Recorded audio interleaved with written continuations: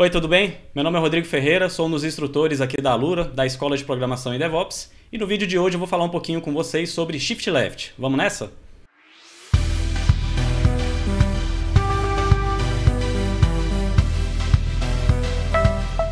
Bom, então talvez esse termo você não conheça, ele é muito utilizado por pessoas que trabalham com DevOps e também com metodologias ágeis, mas vamos entender melhor o que é esse termo, como que ele pode te ajudar. Então, se você trabalha numa empresa com desenvolvimento de software, é muito comum que você trabalhe em um time, você não trabalha sozinho. Foi esse o tempo em que desenvolver software era apenas escrever o código, né? Era um programador, uma programadora ali conversando com as pessoas, entendendo as necessidades e escrevendo o código.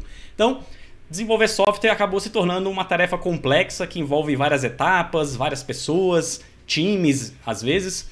E aqui eu tenho uma imagem de um processo baseado no modelo cascata, que era das dos processos que foi criado há muito tempo atrás como uma abordagem para organizar o desenvolvimento de software.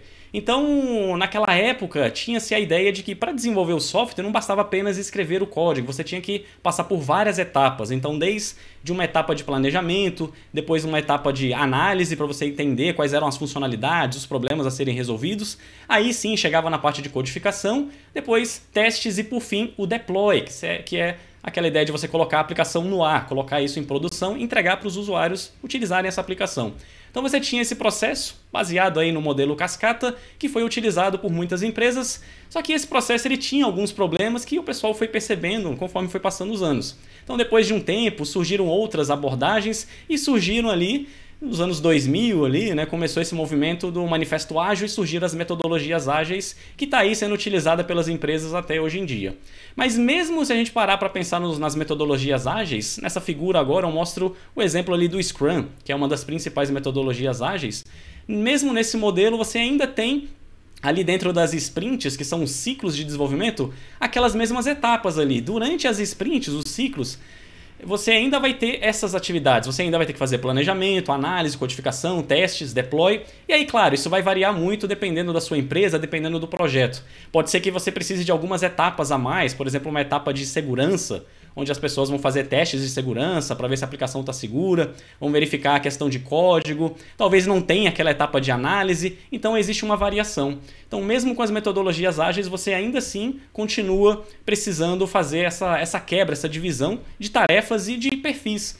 Então, muito provavelmente você trabalha num time onde você tem ali uma ou mais pessoas que está em cada um desses papéis, trabalhando como codificador, programador, programadora, como testador, e é bem comum que você utilize um desses processos no seu dia a dia de trabalho. Só que esse tipo de, de, de ambiente, esse tipo de processo que você tem essa separação entre essas atividades, se você não tomar um certo cuidado, você pode cair em alguns problemas, mesmo trabalhando num ambiente ágil, utilizando metodologias ágeis. Que é esse problema que eu mostro nessa figura aqui.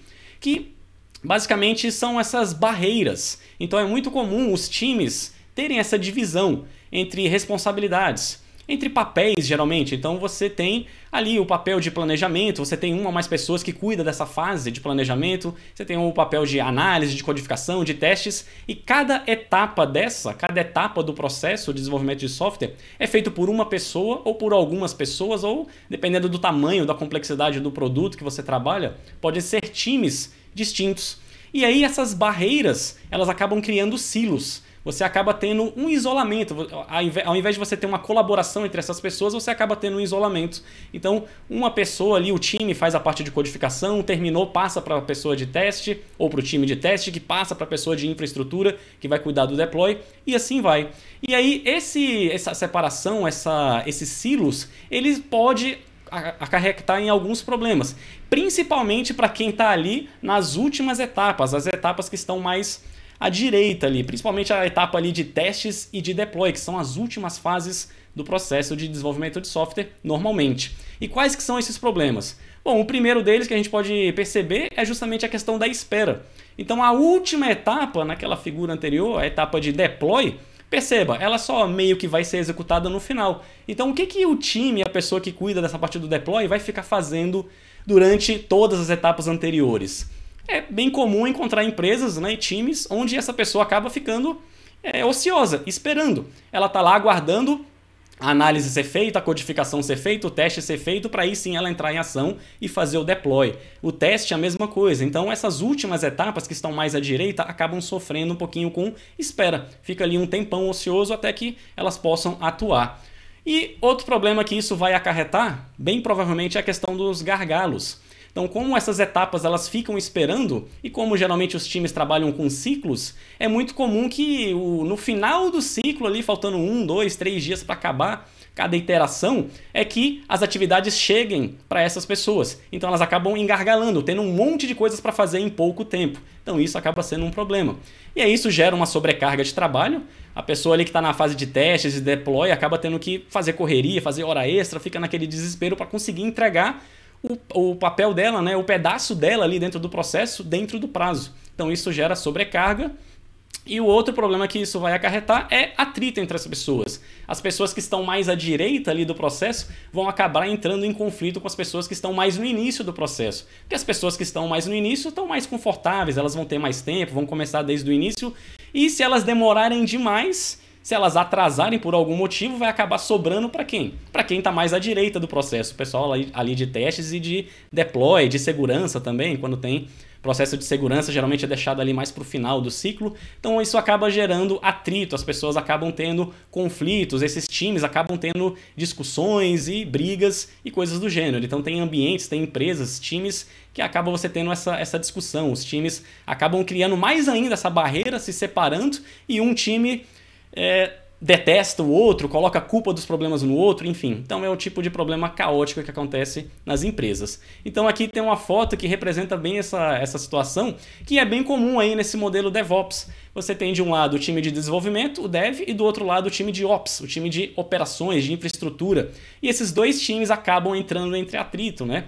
E aí com essa figura representando o cachorro e o gato, um querendo matar o outro, né? Então isso é bem comum nas empresas e a gente pode levar também para outras situações. Em vez de ser o time de dev e de ops, pode ser o, o time de programação e o time de testes time de programação demora, leva lá para entregar para o time de testes, o time de testes vai ficar engargalado, vai ficar sobrecarregado, vai aparecer um monte de bugs, vai ter retrabalho e aí um time vai jogar a culpa para o outro dos atrasos e dos problemas. Então é bem comum você ter essas brigas entre esses times por conta desse problema, desse tipo de processo se você não tomar alguns cuidados. Então, se você identificou essa situação, você já passou por isso em alguma empresa que você está que você trabalhou, ou na empresa atual que você está trabalhando, no seu time, você tem esse tipo de cenário onde você tem essa separação no processo de desenvolvimento de software da sua empresa, você tem essa separação entre papéis, entre pessoas, entre times, e você acaba empurrando ali, né, acumulando trabalho para as pessoas que estão nas últimas etapas, você vai ter se identificado aqui e vem essa questão, né? Poxa, como que eu posso minimizar esses problemas? O que, que eu posso fazer? Aí é que entra esse conceito de shift left e aí, bom, na primeira vez que eu ouvi falar em Shift Left, na minha cabeça veio, pô, será que Shift é a tecla Shift do, do teclado ali? É o Shift que fica à esquerda do teclado? Só que não, não é bem isso que eu estou falando aqui, não estou falando de teclados. É uma outra, é uma outra prática aí, um conceito que foi criado com esse termo, né, com esse nome chamado de Shift Left. E a ideia do Shift Left seria você justamente fazer um shift, você deslocar e o left à esquerda, deslocar para a esquerda essas últimas etapas do processo de trabalho. Então essas etapas ali de teste, segurança, deploy, que normalmente estão lá na direita, no extremo direito ali do processo, por que, que a gente não pode empurrar, deslocar essas etapas mais para a direita? Por que, que a gente não pode, desde as fases de planejamento, pensar em discutir e planejar também como que vão ser os testes, como que vai ser a parte de segurança, como que vai ser a parte de deploy, ao invés de deixar isso para o final? Porque muitas vezes lá no final a gente não percebe alguns problemas que a gente poderia ter discutido, planejado e evitado retrabalho. Então a ideia do shift left é essa, é você deslocar para a esquerda essas últimas etapas. Geralmente etapa de teste, etapa de segurança e etapa ali de deploy de infraestrutura, que são as que normalmente as empresas aí nos processos ficam mais à direita. Então a ideia é, ao invés de você só começar a testar lá no final, depois que foi feito o desenvolvimento, por que, que lá na fase de planejamento você não já começa a discutir e planejar como que vão ser os testes, que testes serão necessários a ser realizados para as funcionalidades que serão implementadas, como que serão esses testes, a implementação em si, se for o teste automatizado, talvez já dê para começar a iniciar os testes automatizados. A mesma coisa o deploy. O que, que eu vou precisar fazer na infraestrutura para realizar o deploy dessas funcionalidades? Vou precisar alterar alguma coisa, vou ter que fazer alguma configuração, trocar algum servidor, um banco de dados, configurar um firewall, alguma coisa de IP, de rede, enfim. Então, ao invés de pensar nisso só lá no final, quando acabou os testes, por que, que a gente não coloca isso já desde o início do planejamento?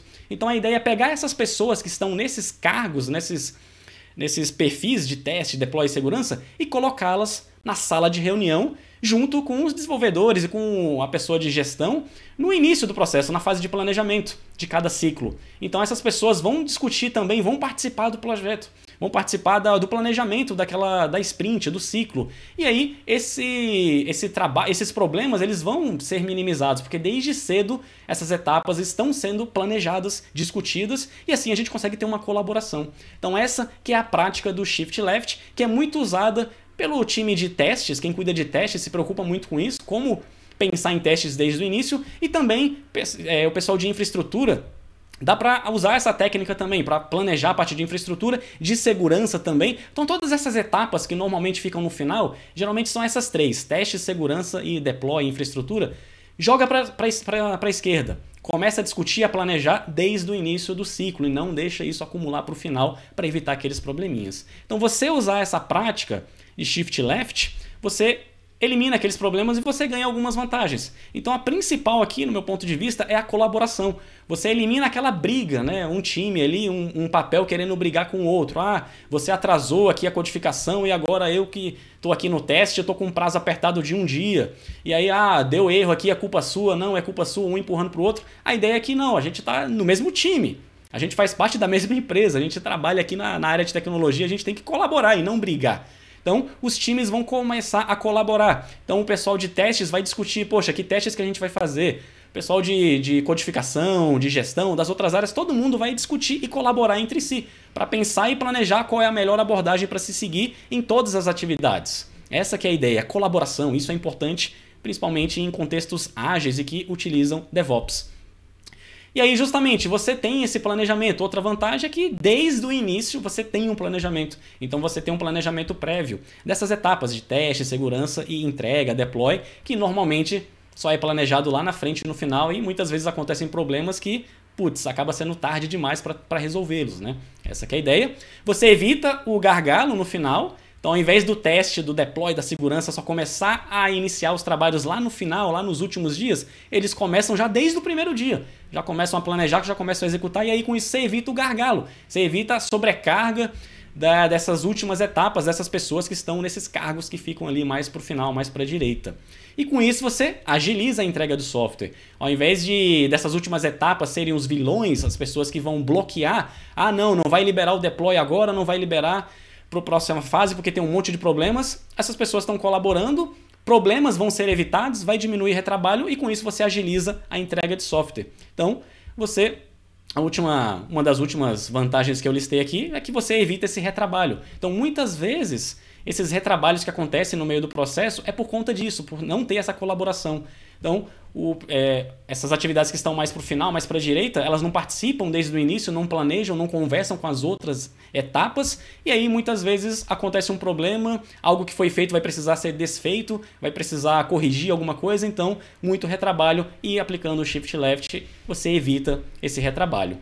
Tudo bem? Então essas são as vantagens de você utilizar essa prática do Shift Left.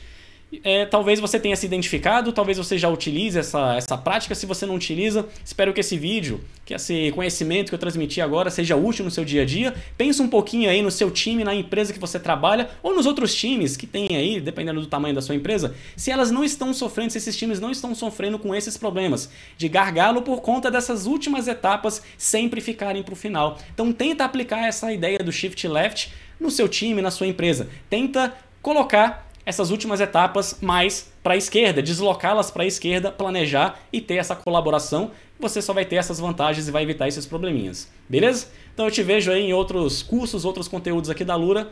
Obrigado por assistir. Um abraço. Conheça os cursos de programação da Lura. Tem Java, Python, C Sharp, PHP, .NET, Clojure e mais. Além dos cursos de computação com boas práticas e exercícios para fazer da sua paixão a sua profissão. Vem estudar com a gente!